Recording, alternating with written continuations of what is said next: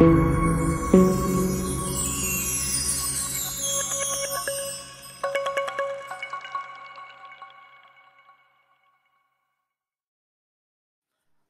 तपाईँलाई एउटा महत्त्वपूर्ण कुरा भन्नु गइरहेको छु। त्यो महत्त्वपूर्ण कुरा चाहिँ हो आगापे प्रेम। जीवनमा यो प्रेम सबैले खोज्छन्। सानो बच्चालाई पनि प्रेम चाहिन्छ जवानलाई पनि प्रेम चाहिन्छ एक्लो भएको व्यक्तिलाई पनि प्रेम चाहिन्छ धनीभन्दा धनी व्यक्तिलाई पनि प्रेम चाहिन्छ। या जस्तै सुक किन नहोस् कठोरभन्दा कठोर व्यक्तिले पनि माया खोजिरहेको हुन्छ। किनभने परमप्रभुले हामीलाई सोसल बनाउनु भएको छ।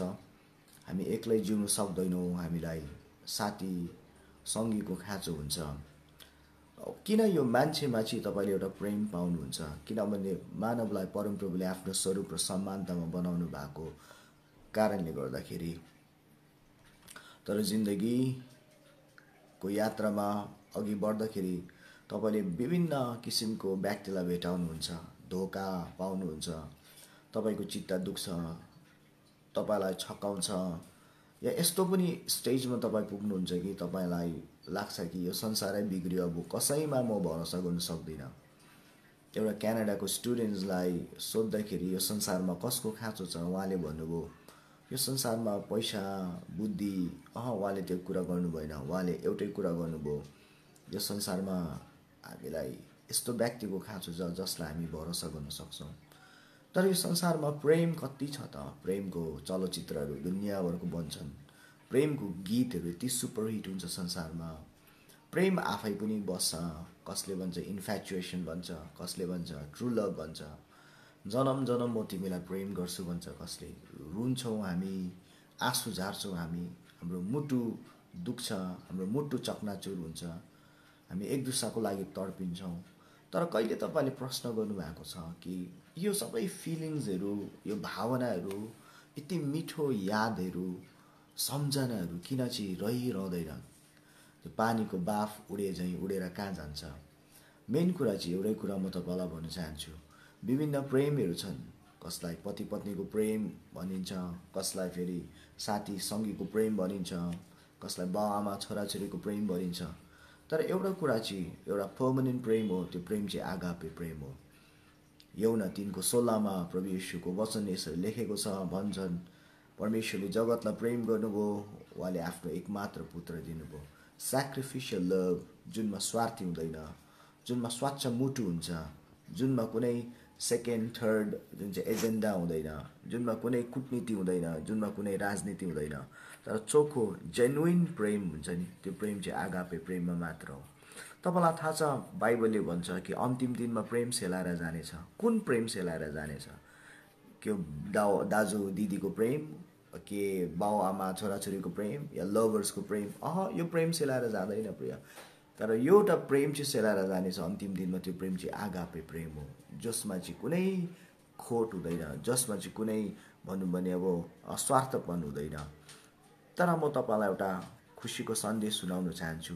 जसको जरा प्रभु येसु छ जसको हृदय नयाँ गरी जन्मिएको छ जसको हृदय चाहिँ नयाँ सृष्टि भएको छ।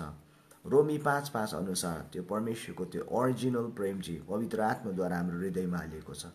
त्यो प्रेमलाई जब हामी अनुमति दिन्छौँ नि पर्मिसन जब दिन्छौँ नि त्यो प्रेमले भनौँ टुटेको परिवार टुटेको सम्बन्ध टुटेको मण्डली र टुटेको समाज र देशलाई जोड्न सकिन्छ। यो प्रेममा मात्र परमेश्वरको प्रेममा मात्र आशा छ। अरू प्रेममा आशा छैन। किन? अरू प्रेम चाहिँ एक्सपायरी डेट लिएर आउँछ। अरू प्रेममा कुनै पनि तपाईँले एउटा उयो पाउनुहुन्न मतलब पर्मनेन्ट एउटा एस्योरेन्स पाउनुहुन्न। तर आगापे प्रेममा मात्र तपाईँले पाउनुहुन्छ।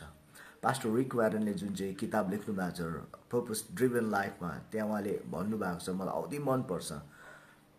त्यो प्रेम यति महत्त्वपूर्ण हुन्छ अरे कि तपाईँले विभिन्न सम्पत्तिहरू कमाउनु भयो सपोज तपाईँले महँगो गाडी किन्नुभयो महँगो घर बनाउनु भयो महँगो अब ब्याङ्क ब्यालेन्स तपाईँले डिपोजिट गर्नुभयो।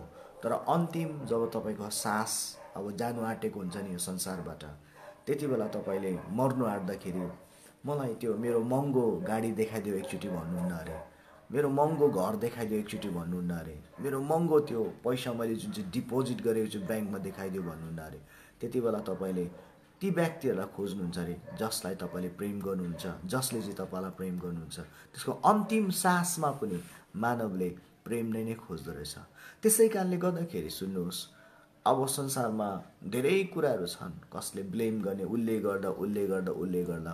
तर संसार चाहिँ एउटा दुईवटा तिनवटा गर्दै यदि हामी सबैजना मिलेर यो स टुटेको समाजलाई टुटेको परिवारलाई टुटेको जिन्दगीलाई चाहिँ जोड्नु निको पार्नु सकिन्छ। त्यो चाहिँ परमेश्वरको प्रेमले मात्र हो।